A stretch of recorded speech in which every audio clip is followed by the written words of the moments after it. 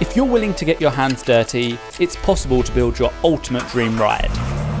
From stylish and powerful to eco-friendly, let these DIY masters take the wheel and watch them make their dream rides come true. 多分日本中の人が誰も知らなかったことだと思いますローライダーという言葉はで日本には当然一台もない頃でそこら中で動かすわけですよガスステーションだとか レストランの駐車場とかもうどこ行っても人がいるとこなら。だから僕たちが創世紀に始めたってことでバッて注目されたんですけど。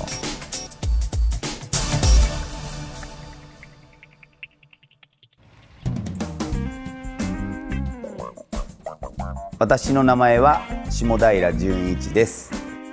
ここは私のお店でパラダイスロードと言います、えー、仕事は古い車を輸入して直したり改造して日本の道路を走れるようにするのが仕事です。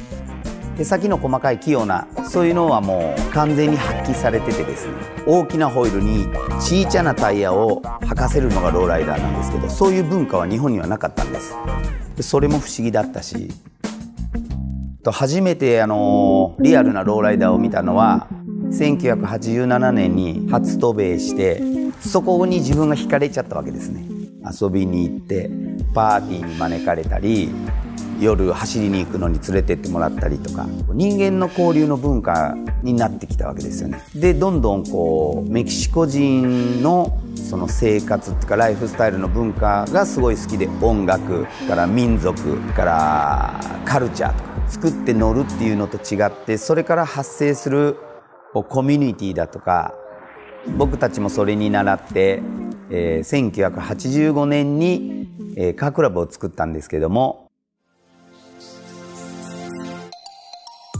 僕たちのカークラブはファロースっていう名前なんですけども車の趣味の人なら誰も知っている映画があってアメリカングラフィティっていうその中に登場する悪ガキの、まあ、カークラブがあるんですけどもそこから撮ったわけですね。アメリカ人がもともと発想して発案してやってることを見たり日本の車作りとか僕たちの考えとかからまあ交流したりどんどん深まっていくわけですね。1年に一度横浜で大きなイベントがあるんですけどそれはまあローライダーだけじゃなくて日本人が作ったアメリカンスタイルの車やバイクを見にわざわざ飛行機に乗って見に来るわけです。これはまあすごいことで一番驚いてるのは多分カリフォルニアに住んでるメキシコ系の人たちがまあ嬉しいと僕は思ってます。自分たちが始めたなんか複雑な多分生活様式の中で始めた文化がもう世界中に広がってるっていうことはすごいことだって思いますね。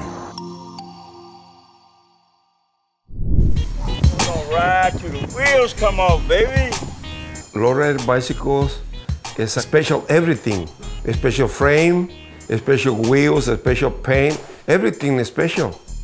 The bicycles we make is made with love because it's with our hands.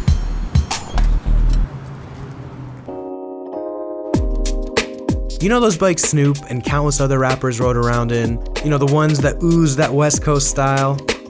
Lowrider bikes. Low to the ground, chromed out, gold plated. They're an extension of lowrider car culture, and they all started here. I am the godfather of the lowrider bicycles. When I was 10 years old, I used to fix all the bikes for the neighbors. I always dreamed with a motorcycle and a car, but since I was too small and no money, so I put my mind in bicycles. A mainstay in Compton and West Coast culture, these iconic bikes were actually first created in Mexico. I brought the lowrider to California in early 80s. And soon after, locals took notice of the shiny, swaggy rides hanging in his shop. When I start making bikes and put it in a, in a display, people come and, and say, hey, can you make me one of those? And then they spread, and now we have customers from all over the world. This is one of Manny's creations right here. He almost practically put everything on there. He blew my mind when he, when he put it on there for me. It's uh, completely different than the regular bike. And the way they look and the way they drive, it's art. people dream and we make the dream come true. The wheel. A perfect function invented in the Stone Age. To this day, the wheel provides the same function as it did those thousands of years ago. But one man is flipping everything we knew about the wheel on its head. My name is Michael Burtov. I'm not an engineer, but I did what most engineers wish they could.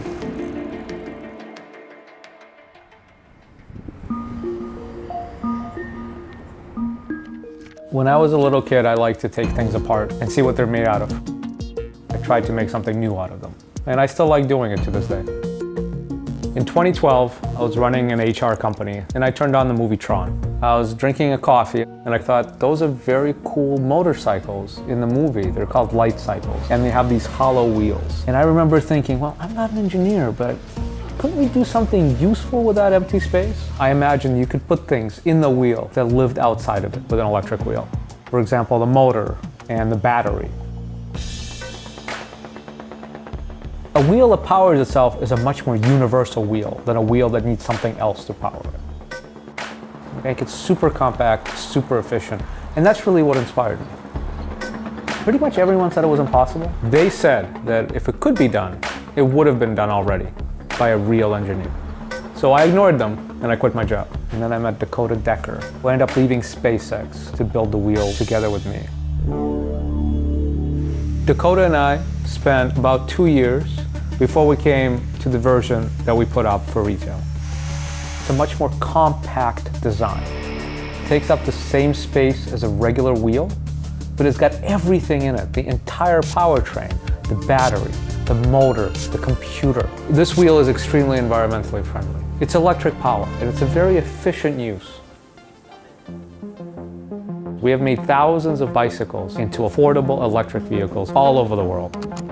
We see that we can contribute to the future of transportation with the GeoOrbital wheel. We see vehicles that nobody has ever made before being able to be made now. Imagine a car Imagine the possibilities when you take all the guts out of a car because you just don't need them anymore. The opportunities really are endless. In Mexico City, cars are everywhere, over 3.5 million to be exact. And it's not exactly great for the environment. But fear not, because there's a solution that can change all of that. And that solution is a Volkswagen Beetle? Welcome to Alto Rendimiento Automotriz, a mechanical workshop that specializes in transforming old gas-fueled cars into electric cars. Desde hace 10 años hemos iniciado este proyecto y desde entonces hemos convertido más de dos decenas de automóviles de diferentes tipos eléctricos. También nuestros vehículos ya tienen en circulación los más antiguos más de cinco años de trabajo continuo. Alvaro de la Paz is the engineer behind the car conversion. And then there's Hector. My name is Hector Ruiz, and I'm a computer scientist. Hector is responsible for gathering the electrical parts and making sure they work, right? Yeah, I do the uh, purchasing, the extensive testing of the components. If we have to burn something, I'm the guy. In order to learn how to do an electric car conversion, you don't need any specific degree. It's something very simple. After reading a lot of books and uh, taking training courses, I believe anyone can do it. Hector and Alvaro learned that converting older cars is both cost effective and safer for the environment. Además son de los que tenemos mayores ventajas, porque un auto mientras más antiguo es, menos eficiente, consume más gasolina, eh, contamina más. By removing all the parts related to fuel combustion, they can install the electrical components to have a fully functional electric car with zero emission. Si nosotros ya tenemos el motor, que ahora es eléctrico, la computadora controladora de velocidad y las baterías mismas y el cargador de baterías. Estas son los principales elementos y se conectan a través de cables. This car makes me free. It's like the nirvana of the cars. You are free from gas stations, you are free from the checkup every six months, Reusability is something that the general public has to take into account in order to be pollution free. If we want to have a better world for our children or grandchildren or future generations, we have to be part of the solution.